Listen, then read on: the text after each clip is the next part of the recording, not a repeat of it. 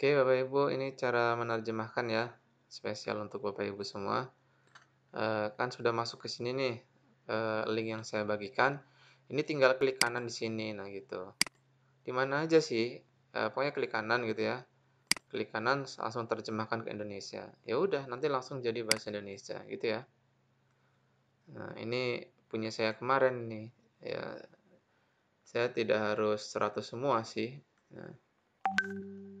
Itu saja ya, oke? Semoga bisa dipahami video ini. Sekali lagi, tinggal klik kanan di mana saja, langsung terjemahkan ke Indonesia. Itu aja ya Bu ya.